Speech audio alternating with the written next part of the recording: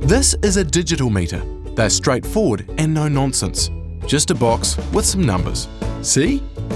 Reading a digital meter is easy. Simply read the numbers from left to right, ignoring the last number. You'll also need to tell us the serial number from your meter, as well as your street address. And that's it. You're ready to send your reading to Meridian.